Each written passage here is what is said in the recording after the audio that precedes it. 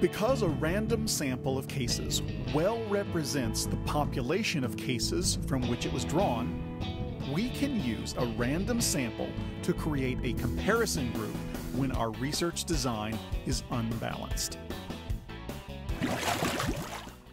This is a huge data set with more than 20,000 de identified cases about patients in a hypothetical intensive care unit. One of the variables tells us whether or not the patient died. That variable is called expired, and it is coded as 1 equals expired or died, and 0 equals no or did not die. Let's look at these numbers right click on the variable name and choose Descriptive Statistics. It looks like about 90% of the patients survived and 10% died. Now, that 10% is about 2,100 cases.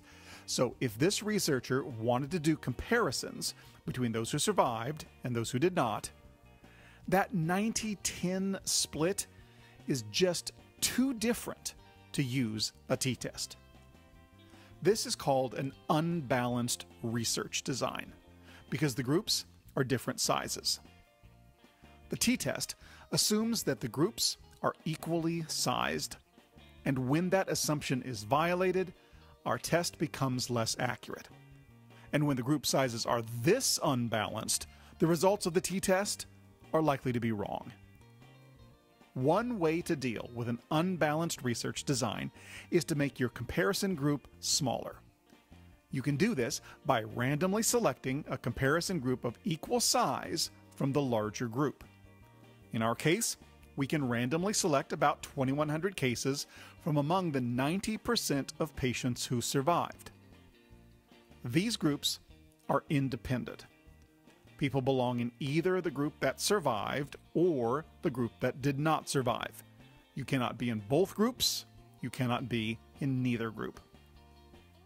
We would like to select a random sample of cases from among those who survived so that we can compare them to the cases that died. But we have a problem. SPSS will not allow us to select a random sample from among only the cases that survived so we will need to do this in several steps.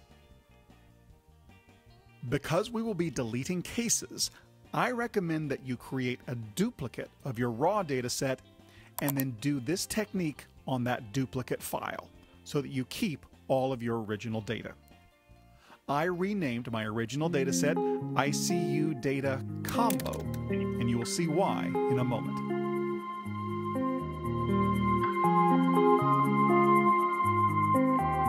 Step 1. We're going to isolate only the cases that did not survive, put them in a new dataset, and then delete them from the original dataset, leaving only the cases that survived.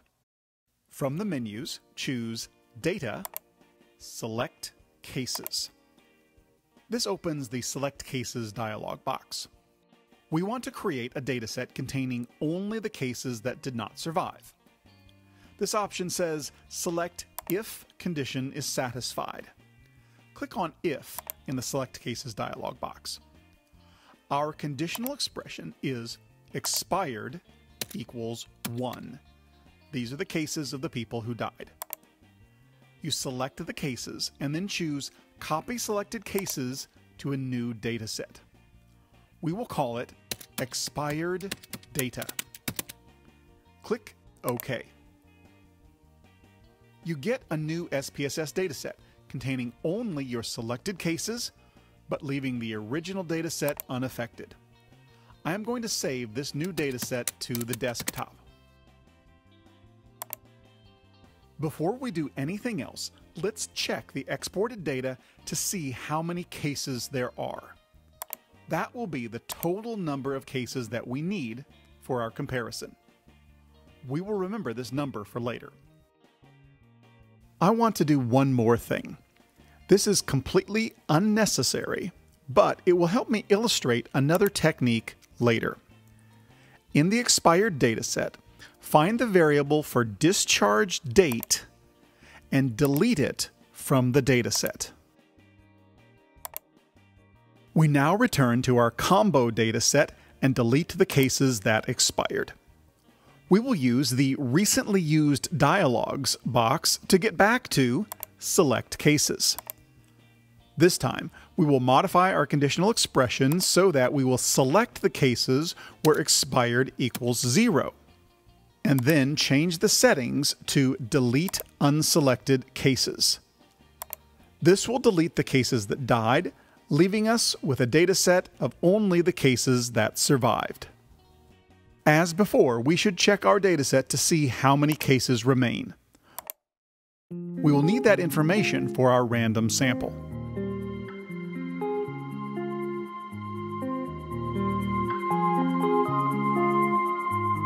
Now ready to randomly select cases that we need from among those who survived.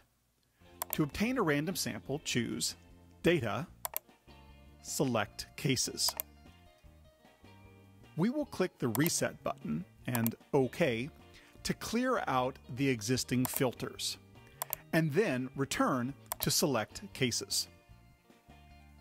Select Random Sample of Cases in the Select Cases dialog box. Click Sample. Select exactly 2,097 cases from among the first 18,785 cases. Delete the unselected cases. This leaves us with two datasets, one containing all of the cases that expired, and the second containing an equal number of cases randomly selected from among those that survived.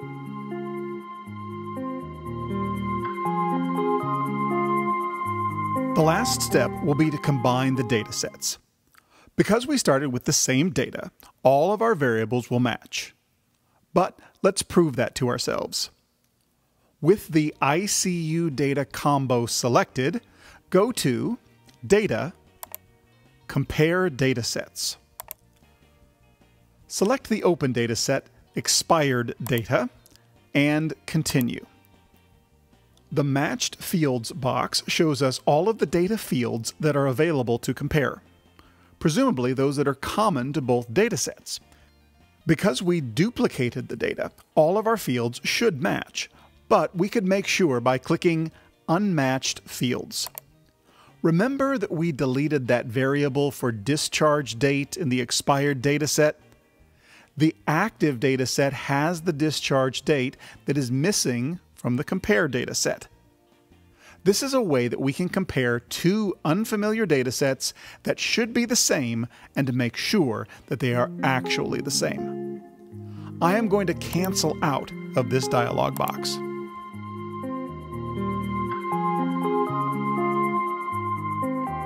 Go to Data, Merge Files, Add Cases we are going to add cases from the expired dataset to our combo dataset. Click Continue. We see that there is only one unpaired variable, discharge date.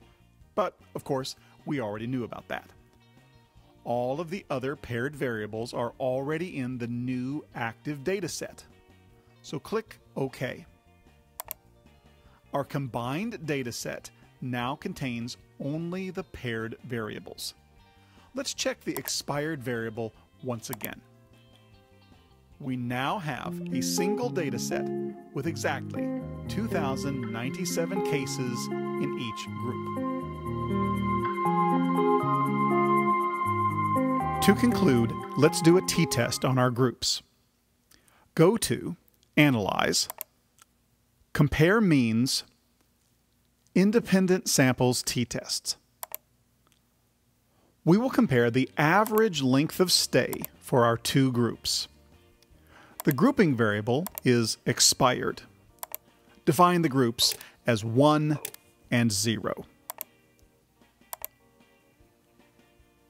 The group statistics show us the average length of stay for each group and the results for the t-test shows us that patients who expired stayed statistically significantly longer than patients who survived.